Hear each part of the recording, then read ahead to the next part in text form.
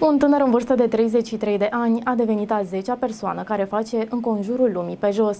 A plecat în lume acum șapte ani, iar pe drum a adoptat și o cățelușă. Conform știri de Cluj.ro, Tom din New Jersey a devenit în 10 mai a 10-a persoană care a reușit să înconjoare planeta. A făcut asta într-o perioadă de 7 ani și a fost însoțit de câinele său Savana, care a devenit primul câine care a reușit să facă acest lucru, potrivit CNN. La 21 mai 2022, Tom din New Jersey a devenit a 10-a persoană care a reușit să facă înconjurul planetei pe jos, iar în experiența sa a fost însoțit de Savana, câinele său, care a devenit astfel primul patruped care a reușit această performanță. Cei doi au fost întâmpinați cu mare fastă acasă de prietenii și familia lui, dar și de mulți curioși. Tânărul a străbătut alături de câinele său 48.000 de kilometri. Momentul triumfător al ajungerii acasă a adus sfârșitul unei călătorii de 7 ani și 48.000 de kilometri, pentru care s-a pregătit cu mult timp înainte, relatează news.ro. A fost suprarealist, a declarat acesta pentru CNN din casa părinților săi. Îmi imaginam de mult timp cum va fi finalul, iar când s-a întâmplat, erau oameni care se aliniau pe străzi și mergeau cu mine, emoția principală a fost doar ușurarea. Acest lucru mi-a dominat viața timp de 15 ani, iar faptul că în sfârșit am reușit să las în urmă acest lucru a fost uimitor, a spus el. Decesul unei prietene, momentul în care acesta a decis să profite de fiecare moment al vieții. Ideea acestei călătorii a venit în 2006 când prietena sa, Maria, a murit într-un accident de jet ski la vârsta de 17 ani. Aceasta a fost foarte formatoare pentru mine. Era o persoană mult mai bună și am înțeles că voi muri într-o zi și că se poate întâmpla în orice moment și am început să reevaluez totul. Mersul pe jos este cea mai bună modalitate de a înțelege lumea. Mi s-a părut mersul pe jos cea mai bună modalitate. Nu am vrut să merg la Paris și la Machu Picchu, ci am vrut cu adevărat să înțeleg lumea și să văd cum trăiesc oamenii zi de zi. Odată ce s-a angajat în această călătorie, Tom a început să planifice traseul, încercând în același timp să strângă fonduri pentru călătoriile sale. A reușit să economisească suficient pentru a rezista aproximativ 2 ani pe drum, lucrând în timpul verii, în timp ce era la facultate și mutându-se înapoi la părinții săi după ce a absolvit. Cu toate acestea, cu puțin timp înainte de a pleca, proprietarul unei companii locale a aflat despre planurile sale și a decis să îi sponsorizeze călătoria, relatează știri de Cluj.ro.